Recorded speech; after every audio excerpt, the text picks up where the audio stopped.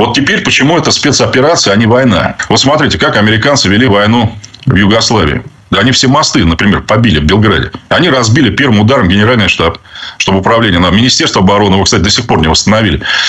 Они убили несколько тысяч человек в ходе только бомбардировок. Это то, что они признали сами. Ирак. Да вы помните, что там с Масулом произошло? Это второй по величине город. А почему? А потому что они как бы не жалеют людей. Ну, то есть, подошли к городу. Что делать? Если входить в город, в тебя начнут пулять там из всяких окон, а те что делать? Не, они туда не входят.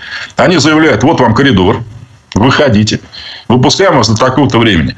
Кто не спрятался, мы не виноваты. Значит, мы вас выпускаем, потом просто делаем из вашего города котлету. Ну, что они сделали?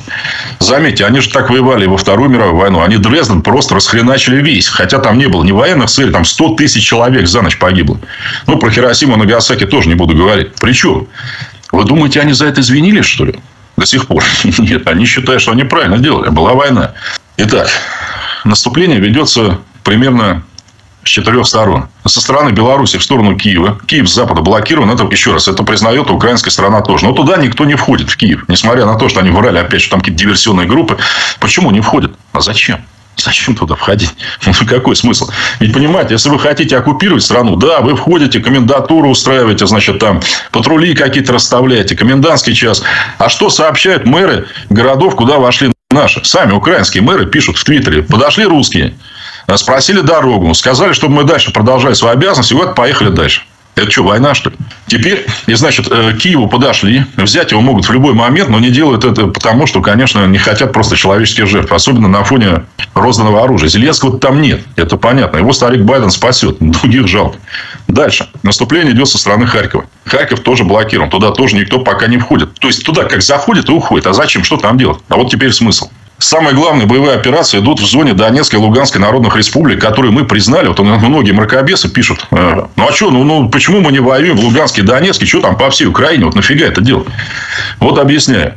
Значит, Луганская и Донецкая республика ведут наступление против основной массы украинской армии. 70 тысяч человек из 200. Которые, ну, действительно имеют какой-то боевой опыт. Там более-менее главное, к сожалению, очень сильно построено за 8 лет обороны. Они их отдавливают и сковывают. Вот это основное.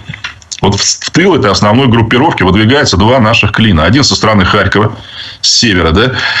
Заметьте, под Донецком украинцев не трогают. И они, кстати, это я к дамочкам обращаюсь, к слезливым. Они как молотят по Донецку, так и молотят. Вот это-то все показывают.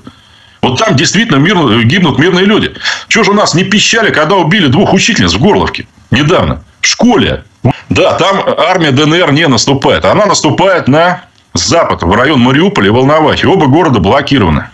А с другой стороны, с запада к Мариуполю подходит наша армия, вышедшая из Крыма. Причем вот эти мракобесы, которые, ну, что там за армия? Да они за день по 100 километров проходят. Это что, мало, что ли? Сейчас наша армия э, заняла Бердянск, что признал мэр этого города. Опять в своем твиттере русские пришли в Бердянск. Заметьте, он ни разу не написал, что они у кого-то сигареты отобрали, я не знаю, русские. Кому-то там щелчка отдали. Ну, мог бы написать. Русские ему опять сказали, старик, давай работай.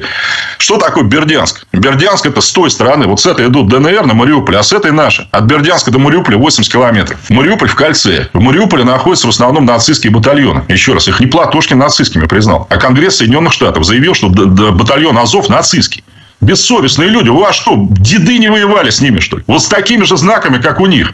Ну, как так можно за них вообще родить? Которых американцы считают нацистами. Ладно мы, они. Итак, к Мариуполю с обеих сторон подходит ДНР и наша армия, не встречающая никакого сопротивления. Наши, слава богу, заняли две атомных электростанции. Одну в Чернобыле, вы знаете. Опять украинцы признают, что там даже ни одного выстрела не было. Мало того, украинский батальон охраны сказал, давайте вместе с вами охранять. Молодцы люди. И охраняют. Что русские там ворвались, там в наручники всех заковали сотрудников станции. И верят вот в эту хрень. Значит, Чернобыль под нашим контролем. Вчера мы заняли главную, самую крупную в мире атомную электро... Э, в Европе, прошу прощения, 6 энергоблоков, Запорожскую атомную электростанцию. Последний энергоблок сдали бандеровцам в 1989 году. Навью.